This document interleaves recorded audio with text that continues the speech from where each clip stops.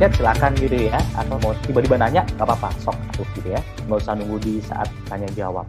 Nah biar nanti langsung ingat. Oke yang pertama how to-nya nih drive yourself. Yang pertama saya akan bahas mengenai drive yourself kendalikan diri anda. Apa sih yang dimaksud drive yourself? Drive yourself kendalikan diri kamu. Kita mau nyetir pun yang mengendalikan bukan mobilnya yang canggihnya seperti apa tapi bagaimana pengemudinya. Kita sebagai pengemudi harus tahu nih dua hal yang harus kita miliki. Apa itu? Build a good vibes dan build a value. Nah ini saya yang paling suka ini value nih. Nah jadi yang pertama adalah oh sorry kebalik. Yang pertama adalah build a value, bangun nilai dan yang kedua adalah good vibes. Build a good vibes, bangun getaran yang kuat, yang baik maksudnya. Pertama dulu nih dari drive yourself yaitu bangun sebuah nilai. Yuk saya pengen ngajak teman-teman yang ada di sini untuk videonya di on-kan dulu dan siap-siap untuk chat gitu kan di masalah build a value dulu. Nah, bicara value, value itu apa sih? Value dari beberapa literasi yang saya baca, sesuatu yang dianggap penting untuk diyakini sebagai pegangan hidup. Semua orang, everyone pasti punya yang namanya value atau nilai. Value-nya pasti berbeda-beda. Nah, saya ingin tanya ke teman-teman semuanya dalam membangun sebuah tim, dalam apa ya, mungkin dalam sekarang ini berpij dalam sekarang ini bergerak gitu ya di bisnisnya atau timnya atau apanya bagaimana membangun sebuah value itu. Yuk. Nah, saya pengen tahu dulu siapkan uh, kertas atau handphone gitu ya Mas Wanda ya. Yap. Yes. Mas Wanda senyum-senyum aja tadi gurih senyumnya. Oke. Okay. Nah, teman-teman semuanya berarti langsung saja nih kita persiapkan tadi boleh catatan note di handphone boleh. handphone atau tulis langsung juga boleh gitu ya Mas mm -hmm. ya. Yes, yes. Okay. Bicara oke, okay, bicara build a value. Yuk. Saya pengen uh, ada satu dua tiga empat lima Ini ada 40 kotak yang ada di kolom ini. Tolong pilih 10. 10 hal yang bicaranya gue banget nih, yang diri saya banget. 10 hal yang mewakili tentang diri saya. Nah, 10 hal ada kata-kata terkenal, loyalitas, tantangan, hingga yang paling ujung bawah tekanan. Ini kira-kira yang sekarang mewakili diri saya apa sih dari 10 kata ini? Yuk pilih 10 kata. Pilih 10 kata yang ada di sini, saya kasih waktu. Memilih 10, apa ya kira-kira? Biar nggak lupa bisa dicatat di handphonenya atau di kertasnya, tapi tidak usah di chat terlebih dahulu di kolom chat ya. Oke. Oke. Yes. Kalau Mas Wandra udah, berarti yang lain udah. Patokannya Mas Wandra. Ada 40 kotak di sini, silakan Anda pilih 10 hal saja, 10 hal yang mewakili diri Anda. Yang gue banget deh, yang saya banget nih, 10. Tidak ada jawaban benar, tidak ada jawaban salah. Karena ini jawaban mewakili diri Anda, gitu kan.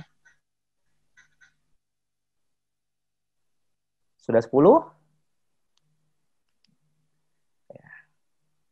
Ini sebenarnya ada musiknya, cuman musiknya tiba-tiba tidak kepasang ke sini. Harusnya ada musiknya ini. Namanya juga uji coba gitu ya. Hmm. Seharusnya ini ada musiknya tadi. Musiknya udah di setting. Sambil menunggu, uh, kalau Anda pengen sambil ada cemilan, minuman, teh, kopi, malam-malam gini silakan gitu ya. Uh, enaknya online Zoom tuh seperti ini. Kita bisa nyambi minum, nyambi makan nyambi pakai stiker-stiker kayak Mas Tutus tadi aja bisa kayak kacamata kan. Nah. Oke. Okay. 10 hal. Yes, jawaban cepat. Sudah ya, Mas Wanda? Oke. Okay. Bismillah sudah. Oke, okay, 10 hal. Sudah, sudah. Uh, Mas Benly udah ya. Oke. Okay. 10 hal ini uh, Anda sudah tulis tadi. Dari 10 tadi, pilihlah 4. Anda sudah nulis 10 nih. Dari 10 tadi lingkarilah 4 saja. Contoh, 10, saya memilih terkenal spiritual, adil harga diri, dan brand hubungan aset reputasi. Lingkarin 4 saja. Oh, 4 itu adil harga diri, silakan. Lingkarin 4 yang dirasa saya banget.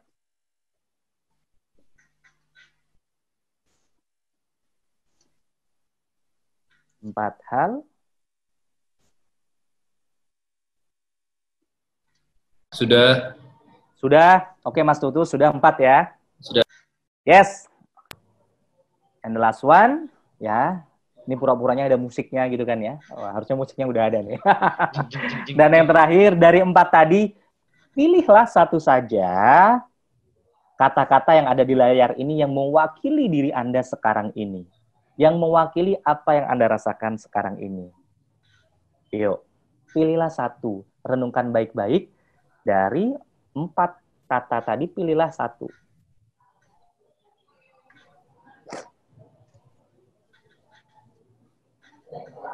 Oke.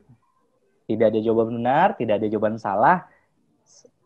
Tidak ada jawaban salah maksudnya ya. Bukan tidak ada jawaban benar. Tidak ada jawaban salah karena semuanya pasti benar. Kenapa benar? Karena ini pilihan Anda, gitu kan. Anda yang merasakan, Anda yang merasa ini benar ya Anda. Oke? Okay? Sudah satu. Nah, sekarang dari satu itu semuanya tolong dituliskan di chat, di kolom chat apa satu itu ya Yuk, dari 40 tadi kan terfilter 10, 10, 4, dan 4 menjadi 1. Yuk, kita ketik bareng-bareng. 1, 2, 3, ketik. Silakan. Yes. Wah, nih saya baca nih. Bertumbuh keluarga, Mas Endo bertumbuh. Kemudian, uh, ini luar biasa. Uh, Oke. Okay. Mas Wanda kontribusi. Uh, Manuke menolong Mas Nando harmonis.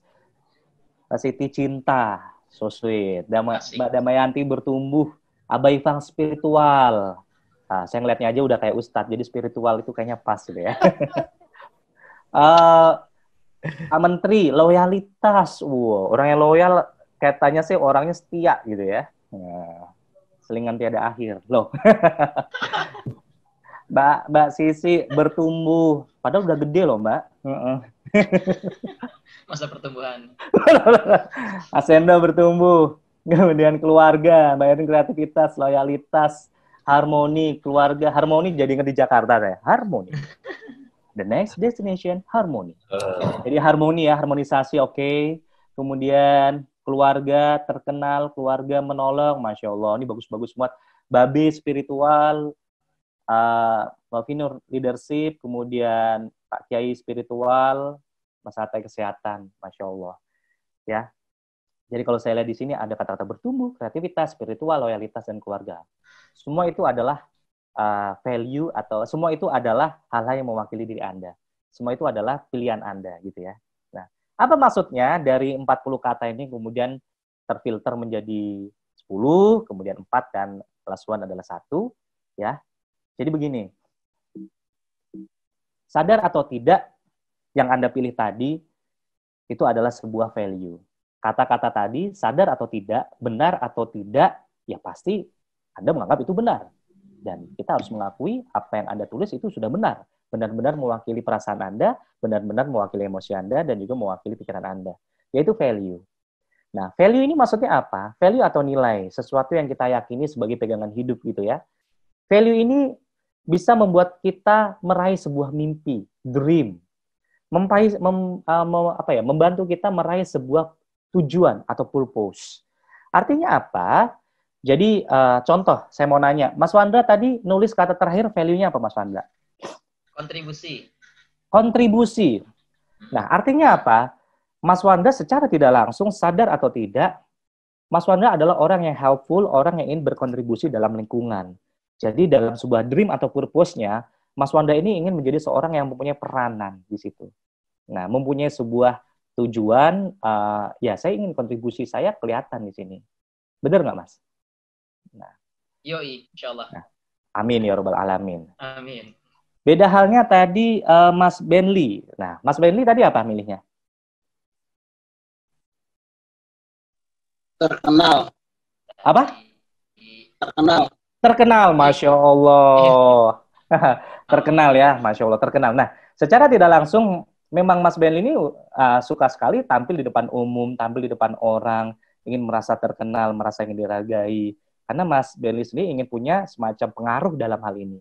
Jadi Mas Benly uh, secara tidak langsung dream atau purpose-nya itu menjadi orang yang terkenal, ingin membuat sebuah pengaruh ke orang lain. Ya, kurang lebih seperti itu Mas Benly ya. Apakah itu yang dirasakan juga? Iya, makanya Mas Benly suka sekali. banget makanya suka banget ngobrol di depan banyak orang agar orang terpengaruh dengan apa yang kita bicarakan begitu ya. Nah, asal asal bukan untuk mempengaruhi banyak wanita begitu ya. Satu aja belum habis. belum habis, masya Allah. Terus ini saya siap-siap di feedback Babe Jamil nih. Apa pun perkataan saya nanti akan di feedback begitu ya. Jadi mumpung di sini sekalian. Oke, kalau Mas Tutus tadi memilihnya apa? Uh, menolong, Mas. Menolong, Masya Allah. Secara tidak langsung, sadar atau tidak, Mas Tutus memilih menolong karena memang Mas Tutus ini mungkin yang menggerakkan hatinya Mas Tutus untuk meraih sebuah dream atau purpose itu adalah rasa menolong rasa helpful, rasa ingin menolong orang lain. Bisa jadi di saat kita menolong orang lain suatu saat akan menolong kita. Gitu ya Mas Tutus ya. Nah, nah value yang tadi Anda sudah pilih, satu kata yang sudah Anda pilih tadi, itu juga bisa menggerakkan sebuah motivasi diri kita dalam bergerak. Contoh, value saya sekarang ini adalah saya value-nya adalah bertumbuh. Kenapa saya memilih bertumbuh? Karena saya merasa proses saya sekarang shifting dari dunia profesional employee ya, menjadi seorang pebisnis dan juga trainer, saya ingin semuanya bertumbuh slowly but sure, step by step. Itu yang membuat saya uh, termotivasi. Jadi kalau dibilang saya nggak bukan ambisius, bukan ngoyo, tapi pertumbuhan itu yang membuat saya akan terus bergerak. Tetapi pertumbuhan yang signifikan, bukan pertumbuhan yang lambat tidak. Jadi itu yang membuat saya untuk tergerak hatinya agar saya bisa mencapai sebuah dream. Dream saya apa? Dream saya ingin menjadi seorang professional trainer yang bisa yang bisa bermanfaat bagi orang banyak, kemudian menjadi seorang pebisnis, pebisnis yang apa? Pebisnis yang bisa mempunyai di tahun 2023 waktu itu saya menulis itu ada 10 cabang. Nah, seperti itu. Itu adalah dream. Dream yang kita tulis. Kalau kata Babe Jamil adalah proposal hidupnya. Kan seperti itu. Yes. Oh, ini ada lagunya ternyata. Ah, itu musiknya. Oh, musiknya ada nggak sih? Dengeran nggak musiknya? Ada. Oh, harusnya tadi saya nyalain musik ya. Harusnya skenario nya nyalain musik. Minggu depan ngisi lagi Mas Oh gitu. ini Minggu seharusnya musiknya udah saya siap ini. Namanya juga uji materi ya. Oke. Okay. Iya, ini musiknya musiknya udah ada nih padahal. Ah, jadi seperti itu. Muncul ya Mas ya musiknya ya? Muncul, muncul. Oh, harusnya pas tadi ngomong ada musiknya ini ya. Oke okay lah. nah, kalau menurut neurologi level pola perubahan, kemudian yang saya uh, pelajarin juga dari punyanya Kang Hari gitu ya, ternyata ada level-level perubahan. Kalau tadi Anda memilih value, tadi kan kita membahas value. Ternyata value di sini memang level value itu di atas belief, di bawah identity di sini ya. Untuk mencapai value yang bagus, ya semuanya harus berawal dari environment atau dari lingkungan. Contoh, kita ingin menjadi seorang professional trainer, ya lingkungan kita jangan lingkungan lingkungan para uh, atlet, pasti kan berbeda. Atlet bulu tangkis ingin menjadi seorang profesional trainer, tapi lingkungan kita adalah lingkungan uh, pemabok. Wah, itu nggak mungkin sekali. Jadi environment-nya harus dibangun. Makanya dengan Associate Academy Trainer ini, lingkungannya sudah bagus. Setelah lingkungan kita udah terbangun, yaitu behavior kita, tingkah laku kita harus benar-benar sejalan dengan sejalan dengan kita untuk mencapai value tadi. Behavior, tingkah laku kita, tutur kata kita, cara bicara kita, itu harus sesuai. Kalau tadi value-nya adalah bertumbuh, ya kita harus tahu nih, setiap sebuah proses itu bagian dari mencapai value kita. Nah, itu behavior-nya harus diyakini. Kemudian skill, kemampuan. Kita harus mengupgrade skill kita, mengasah skill kita sebagai professional trainer. Kalau kita ingin menjadi trainer yang hebat, ya berarti kita harus upgrade skill. Gelas itu harus selalu diisi gitu ya. Jangan penuh terus. Kalau gelasnya penuh, kita nggak akan ngisi air lagi. Nah, jadilah yang gelas kosong. Kemudian belief ya, kita harus ada percayanya, percaya kalau kita bisa meraih value uh, tadi bertumbuh, percaya kalau apa yang kita yakini itu bisa menggerakkan pikiran kita, hati kita tadi. Nah, seperti itu. Baru setelah value tadi identity dan spiritual yang tingkatan paling tinggi. Ya, dikoreksi kalau mau ada tambahan nanti bisa dikoreksi. Begitu ya. Wah, ini. Oke, okay, next. Tadi yang pertama di build a value itu yang pertama adalah uh, sorry, yang drive yourself, yang pertama tadi ngebangun tentang build a value, yang kedua ini sekarang kita bicara tentang build a good vibes. Good vibes berarti bangun sebuah getaran yang baik. Makanya ada istilahnya getar-getar cinta, vibes love gitu ya. vibes vibes love, itu maksa ya.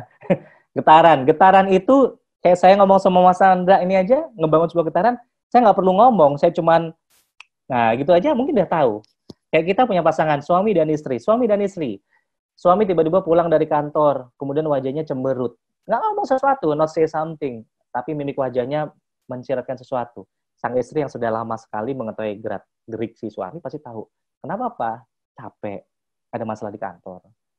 Nah, pasti kan sudah ngomong pertamanya udah seperti itu. Di saat anak kita tiba-tiba diem, loh kita nggak ngapa-ngapain, tapi tiba-tiba uh, uh, apa in the moment dia diem, kemudian kenapa ya? Kita sebagai orang yang sudah tahu, yang sudah mendampingi dia dari kecil gitu ya, tahu oh ini anak lagi dapat sesuatu. Nah itu vibes-nya udah kebangun. Nah untuk membangun sebuah good vibes, hubungannya kita sebagai leader, sebagai manager kepada tim, sebagai karyawan, kita harus mempunyai semacam build a good vibes. Jadi nggak cuma value tadi, value tadi yang pertama, kemudian yang kedua adalah good vibes. Good vibes itu maksudnya apa? Nah, yuk kita lihat video yang ada di sini dulu nih. Mudah-mudahan bisa terdengar ya. Kita simak videonya. Apakah terdengar suaranya?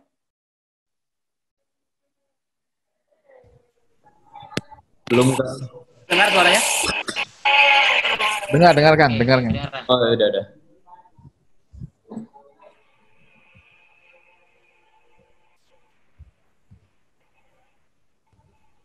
Silakan bisa lihat video terlebih dahulu ya.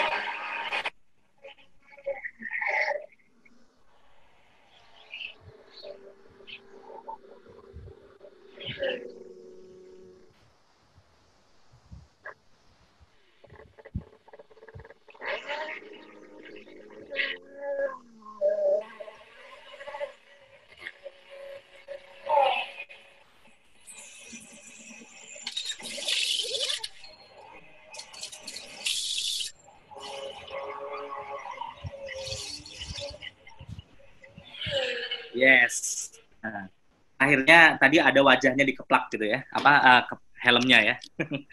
nah, oke, okay, tadi kita lihat bersama itu adalah sebuah uh, aktivitas di dalam pit stop gitu ya, dalam balapan Formula One. Uh, itu yang dimaksud good vibes.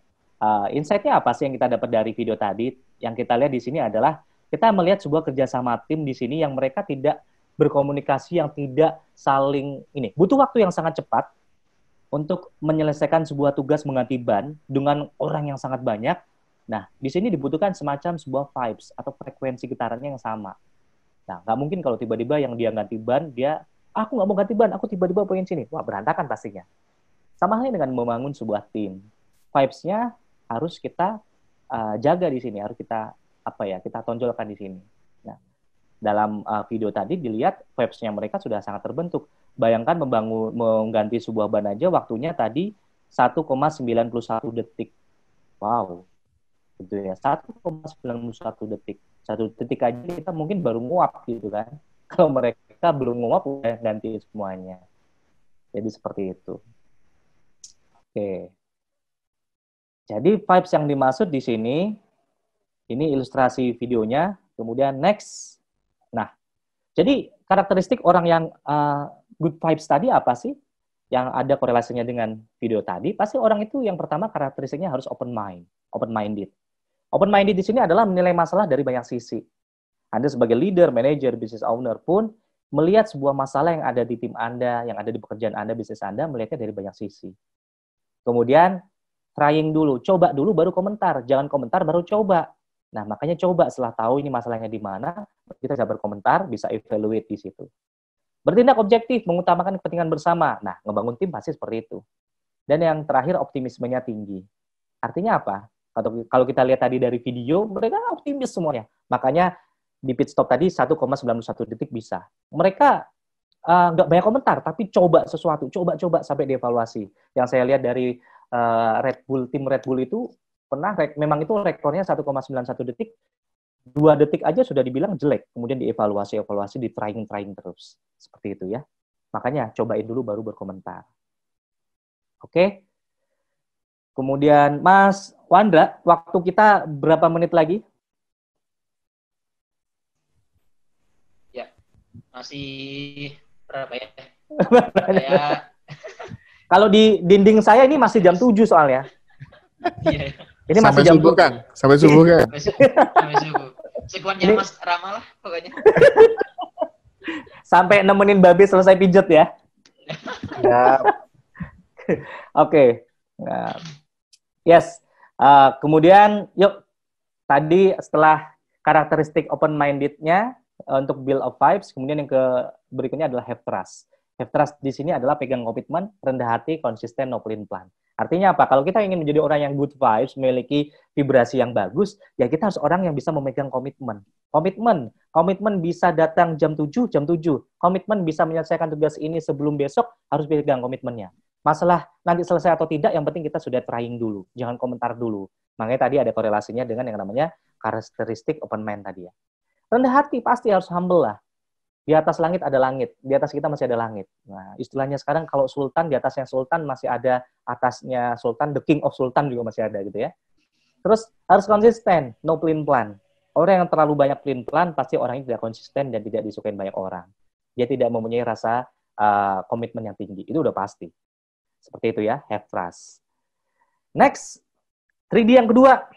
Yang terakhir yang kita bahas pada malam hari ini yaitu design your strategy. Susun strategi Anda. Kalau tadi yang pertama kita udah ngelihat itu yang namanya di drive yourself ya. Uh, bangun diri Anda, drive yourself tadi ada build a value dan juga build a good vibes. Nah, yang kedua ini adalah design your strategy. Design your strategy ini uh, menarik kalau saya bilang. Ini hubungannya dengan bagaimana strategi bisnis kita sekarang ini. Jadi, kata-kata Bob Sadino ini menarik. Bisnis yang bagus itu yang seperti apa sih? Bisnis itu bisa bisnis tim, apa pun bisnisnya ya. Consulting bisnis, kemudian punya bisnisnya dunia kuliner, fashion, bisnisnya dalam dunia um, perminyakan, angkutan, transportasi baik sekali. Bisnis yang bagus adalah bisnis yang dikerjakan, bukan yang ditanyakan terus. Ya gimana kita mau tahu hasilnya kalau kita belum mengerjakan? Bagaimana kita mau tahu dampaknya ini baik atau buruk kalau kita belum mencobanya hingga tuntas? Kan seperti itu. Nah, yang kedua ini wah ini kayaknya kebalik ini. Maaf, saya mengaku ini kebalik. ini dulu ya, pura-puranya ini dulu. Desainer strategi. Nah, perkuat dua divisi ini, tim online dan tim offline. Ini kan kita bicara strategi ya, strategi tim. Tim online dan tim offline. Nah, kita harus tahu nih, di era new normal ini, sekarang yang punya peranan yang sangat besar itu siapa? Tim online atau tim offline? Saya membaginya hanya dua, online dan offline. Di online nanti ada pembagiannya lagi, offline pembagiannya lagi. Nah, tim online ini pembagiannya adalah yang pasti medsos, media sosial. Contoh bisnis saya yang dunia bakery, coffee shop, saya terbantu dengan yang namanya Shopee, contohnya itu. Terbantu yang namanya uh, marketplace lainnya. CS online penting. Sekarang CS online itu harus gercep, gercep, gerak cepat. Nah, kedua yaitu yang tim kita perkuat yaitu tim offline. Kalau pengalaman saya itu dulu di dunia otomotif, di bisnis saya itu terbagi menjadi tiga divisi. Karena saya pemimpin cabang, di setiap cabang ada tiga divisi, yaitu divisi sales, after sales, dan juga divisi admin. Nah, tiga divisi offline ini. Sales, after sales, ini saya bagi kalau di sini, di layar, itu ada sales, after sales, production, dan juga admin. Production yang memproduksi, kalau Mas Tutus yang di wedding organizer, memproduksi bagaimana sebuah event itu agar dikemas secara menarik, bagaimana admin mengatur sebuah keuangannya, sales bagaimana mempromosikannya ke beberapa klien, after sales itu sebenarnya hampir mirip dengan production, hampir mirip dengan kalau after sales di tempat saya itu tim bengkel kalau dulu dalam dunia kerja otomotif. Nah, kemudian yang sekarang kita lihat di sini kita akan lebih bahasnya tentang go digital, yaitu media online. Nah, ini saya akan lebih bahasnya lebih ke tim online